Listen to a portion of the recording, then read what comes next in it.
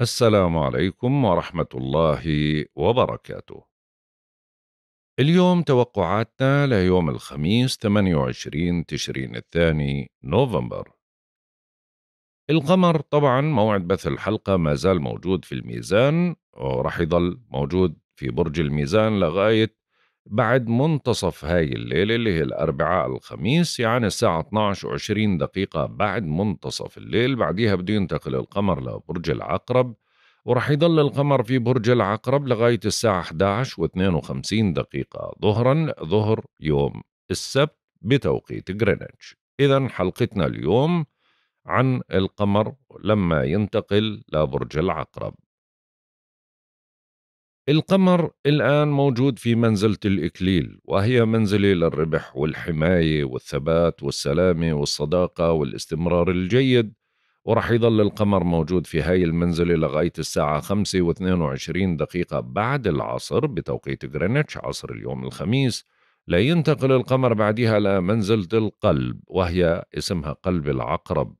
وهي منزلة للظفر والنصر والثبات والربح والسلامة. طبعا إحنا الآن بما انه القمر ما زال موعد بث الحلقة موجود في برج الميزان اذا إحنا في فترة خلو مسار مستمره لغاية الساعة 12 و20 دقيقة بعد منتصف هاي الليلة اللي هي الأربعاء للخميس هذا بيعني إنه هذا الوقت من الآن وحتى منتصف الليل أو ما بعد منتصف الليل بتوقيت غرينتش لا يصلح للبدء بأي عمل جديد أو مهم مثل توقيع عقد أو آه، خطوبة أو زواج أو شراء شيء ثمين بل إكمال العمل اللي بدأنا فيه قبل خلو المسار. الساعة 12 20 دقيقة منتصف الليل بيصير بعد منتصف الليل بيصير القمر في العقرب وتوقعاتنا اليوم عن العقرب وجود القمر في العقرب. خلال هذا اليوم ما بنعرف الحل الوسط لا في تصرفاتنا ولا في علاقاتنا. يا بنحب يا بنكره يا بنتقرب يا بنبعد يا بنتواصل مع الغير يا بنقطع العلاقات.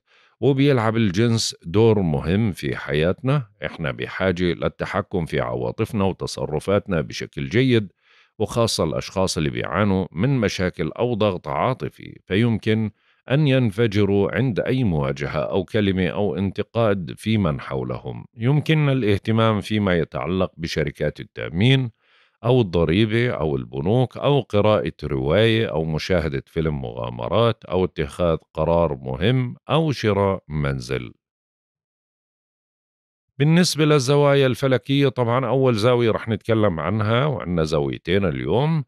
أول زاوية هي زاوية تربيع سلبية بين القمر وبين بلوتو. هاي الزاوية رح تكون بعد الانتقال مباشرة ب 20 دقيقة الساعة 12 و 40 دقيقة فجرا تعتبر بتوقيت غرينتش. بتدفع بعض الأشخاص للتسلط ومحاولة فرض سيطرتهم على الآخرين ممن حولهم من الأصدقاء وأفراد العائلة. وبتتوجه اهتماماتنا للأمور الخفية والغامضة وبتقوي من شهوانيتنا. طبعا زي ما حكينا الزاوية ما بين القمر وبين بلوتو تأثيراتها من الآن. موعد بث الحلقة ورح تستمر لتقريبا ما قبل الظهر بقليل. أما بالنسبة للزاوية التي تليها وهي زاوية تربيع سلبية بين القمر وبين المريخ هاي ذروتها الساعة 11 و 48 دقيقة ظهرا بتوقيت غرينتش تخلق لدينا شعور بالملل من أي عمل روتيني فمنكون بحاجة للهدوء والتحلي بالصبر في أي مسعى منقوم فيه. يفضل أخذ فترة من الراحة لاستعادة نشاطنا من جديد واللي بيكون محبط عاطفيا بثور ثورة عارمة من الغضب. بتسبب لنا نوع من أنواع الخصومات ما بيننا وما بين النساء تحديدا ويستحسن ألا نقوم بأي عمل مهم ونحاول أنه نخلد للراحة. هذا التحول مضر جدا وخصوصا للصحة النفسية. طبعا هاي الزاوية تأثيراتها طيلة اليوم طيلة النهار تحديدا. بالنسبة للأعضاء اللي في جسمنا الأكثر حساسية واللي لازم نوفر لها العناية الإضافية وما لازم نعمل عمليات جراحية كبرى لها إلا إذا كانت اضطرارية الأعضاء التناسلية المستقيم الشرج الحليل الغدد التناسلية المبايض البروستاتا عظم العانة والجينات. هاي الأعضاء هي الأكثر حساسية خلال هذا اليوم. نحاول إذا شعرنا بأي شيء غير اعتيادي نراجع الطبيب ونحاول إنه ما نعمل عمليات جراحية كبرى لإلها إلا الاضطرارية. أما إذا كان يعني آه، في باقي أعضاء الجسم طبعا ما في أي مشكلة لإجراء العمليات الجراحية خلال هذا اليوم. هذا اليوم مناسب لعمليات التجميل مثل الحقن والجراحة. يصلح لإزالة الشعر الزايد بالليزر أو الطرق التقليدية للأشخاص اللي بيعانوا من كثافة الشعر يصلح لقص الشعر التجميلي ويصلح للصبغ والحنة ولكنه لا يصلح للقص العلاجي. القمر بما أنه استقر في برج العقرب خلال هذا اليوم معناته خلو المسار القادم بيكون يوم السبت بيبدأ الساعة 6 و18 دقيقة صباحا بتوقيت غرينتش وبينتهي الساعة 11 و12 دقيقة ظهرا بتوقيت غرينتش. أما بالنسبة لعمر القمر عمر القمر آه انحسار الهلال آه الآن عمره 26 يوم الساعة 1 و34 دقيقة فجرا بتوقيت غرينتش. بنبدأ باليوم ال 27 نسبة الإضاءة 5%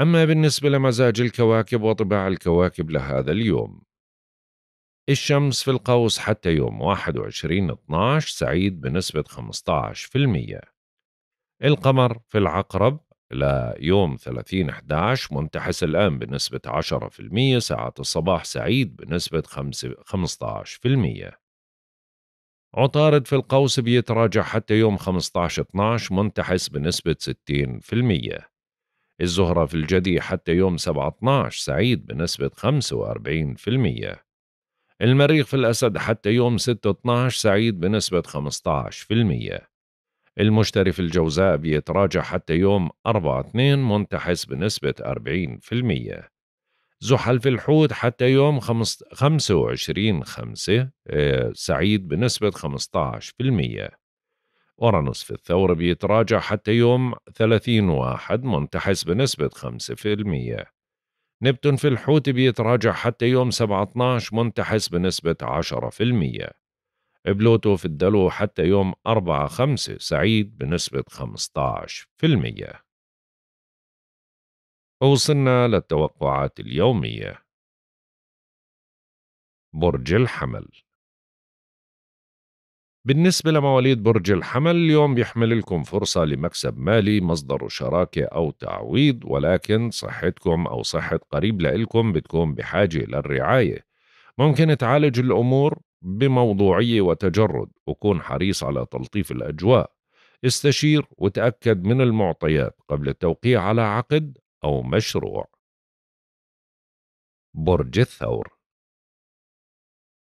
بالنسبة لمواليد برج الثور اليوم بينصب تفكيركم حول تدعيم شراكاتكم سواء المالية أو العاطفية أو ما بين الأزواج. ولكن بدك تحافظ على هدوء أعصابك ونبرة صوتك لأنه القمر موجود مقابلك طاقتك ضعيفة واستفزازك سهل. وحاول أنك ما تعرض لقاءاتك للفشل. ممكن تسبب لك هاي الفترة نوع من أنواع الحزن أو تشعر بالظلم أو القهر. أهم شيء أنك ما تيأس وكون صبور. برج الجوزاء. بالنسبة لمواليد برج الجوزاء أنجزوا ما بوسعكم من العمل المتراكم.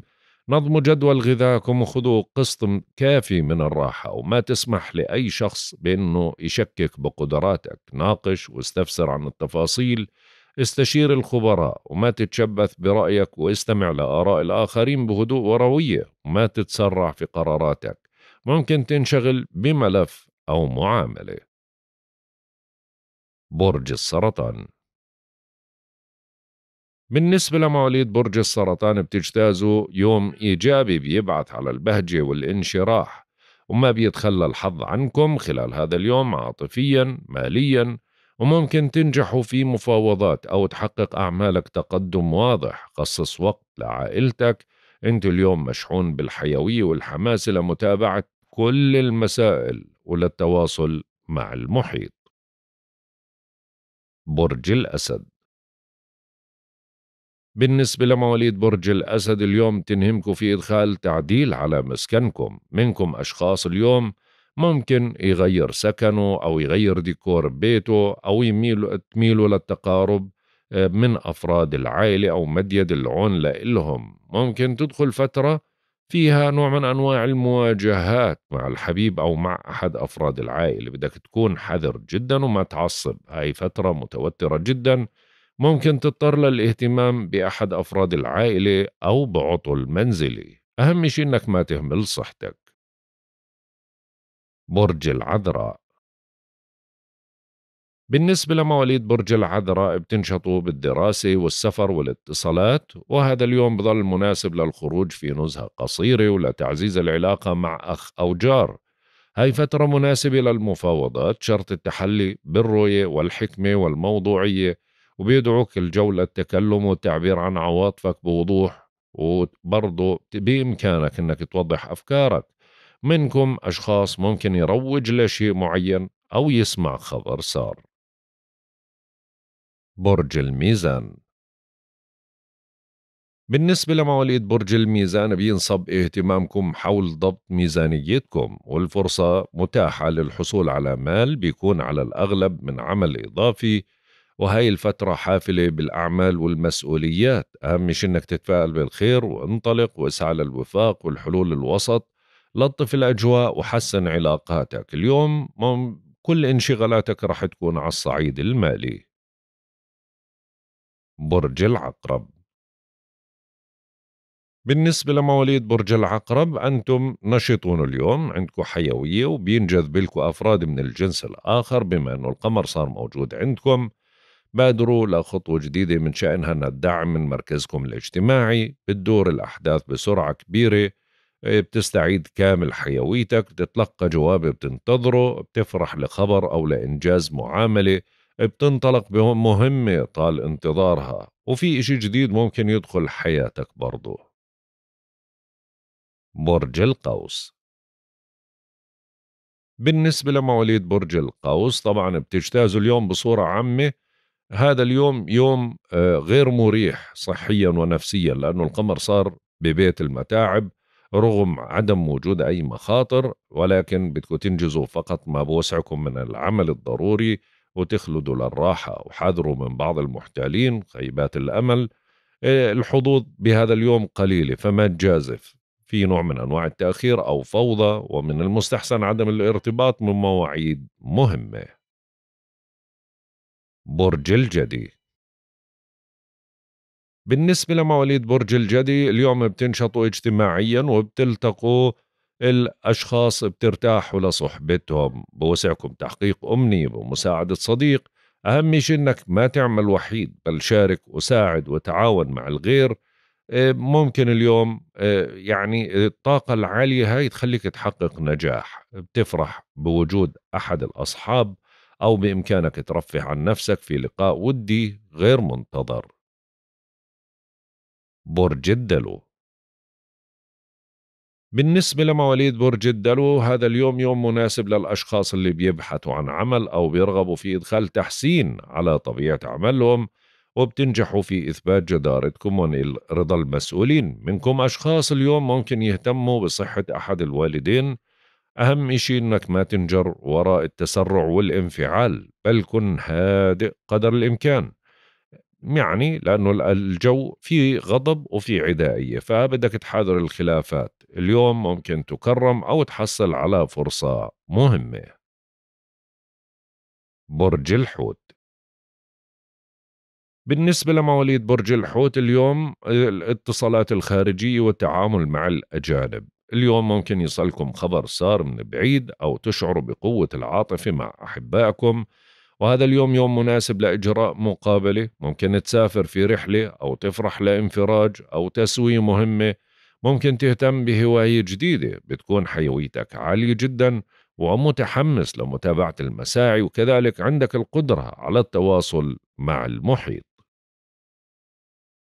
هيك بنكون انتهينا من توقعاتنا لهذا اليوم.